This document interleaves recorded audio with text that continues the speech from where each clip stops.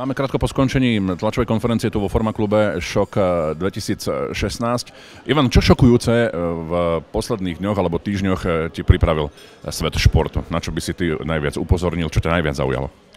Tak keď sa týka Košíc, tak v Košiciach jednak tento športová osobnosť Košíc, gala večer, kde budú oceňovaní tí najlepší športovci mesta, bývalí aj terajší.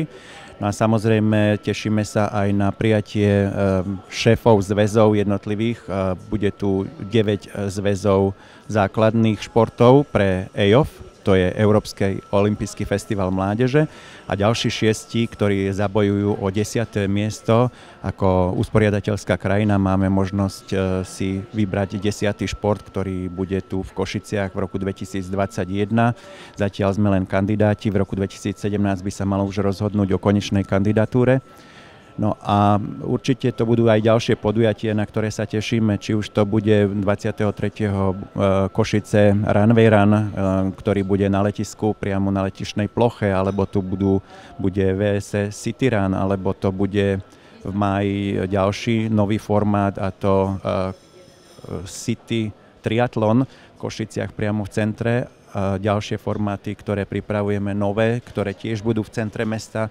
Bude to Spartan Race, v apríli nás čaká ešte Tvrďák a mnoho, mnoho ďalších akcií. E, keby sme tu mali vymenovávať, tak by sme to ani nestihli. Perfektné. Samozrejme, že našim divákom ešte o tom, e, čo to porozprávame v priebehu e, istého časového obdobia. Ty mi prezrať, ktorý z Košičanov ťa v uplynulom roku najviac zaujal. Predpokladám, že ty výsledky nevieš. Kto ťa nejakým spôsobom ohúril a za koho ty by si dal v úvodzovkách ruku do ohňa, komu by si dal svoj hlas, že by mal získať tú sošku? Tak mňa zaujal Kováč, ktorý je majster sveta v, v spieraní, čiže to je, myslím si, že taká topka Predtým e, samozrejme Šaňo ktorý bol síce chorý, ale, ale ten podáva stabilne dobré výsledky. No a potom sú tu basketbalistky, ktoré, ktoré majú veľmi dobre momentálne našliapnuté v Final Four, takže e, aj z tých očakávam niekoho.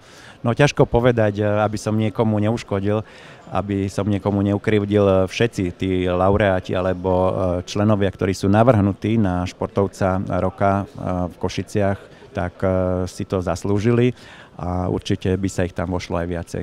Aký ty máš vzťah k týmto anketám? No ja mám veľmi dobrý vzťah, pretože konečne sa obnovilo tu niečo, ako bolo v minulosti. Predtým to bolo, boli plesy, ktoré boli pre športovcov, kde sme vyhodnocovali najúspešnejších športovcov mesta. No a teraz pokračujeme vlastne touto, týmto pekným gala večerom. Ešte nám povedz, e, okrem toho, že ten piatok 11. E, marec bude v znamení samozrejme tohto šoku, ako veľmi sa teda tešíš na, na, na ľudí, o ktorých si teda hovoril a čo táto akcia znamená vôbec pre nás? Tak ja sa veľmi teším, lebo ja sa cítim ako ryba vo vode pri takýchto podujatiach. Veľa tých ľudí, ktorí športovcov poznám, sú známi, e, veľmi dobre si vieme porozprávať vzájomne, či už sú to športovci, tréneri alebo šéfovia tých jednotlivých zväzov, ktorí tu budú rodičia. Čiže naozaj e, je to také milé podujatie, kde sa na nič nikto nehrá, kde sa zabavia, kde si úcti mesto týchto športovcov a prácu vlastne organizátorov rôznych e, zaujímavých podujatí tuto v Košiciach.